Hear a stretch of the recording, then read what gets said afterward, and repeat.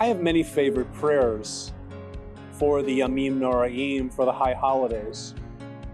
Well, one prayer that speaks to me this year is the Aleinu. Aleinu l'shabeach la'adon hakol. It is upon us to proclaim and to praise God.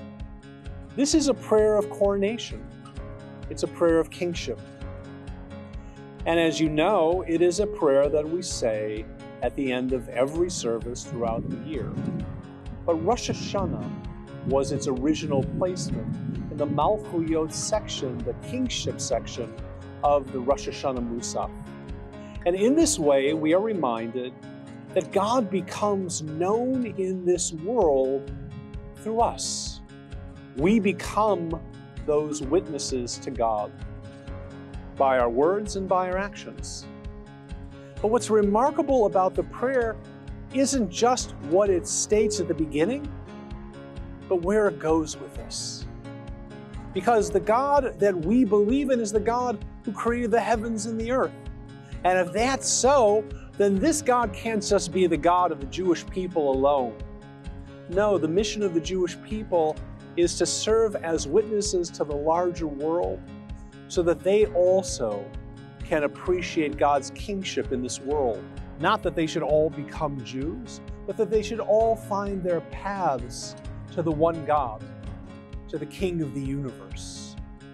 And what's amazing about this prayer is that it ends in this vision of the prophet Zechariah that says that on that day, God will be one and God's name is one because our people and all people everywhere acknowledge the kingship of God in this world and hear the call to God.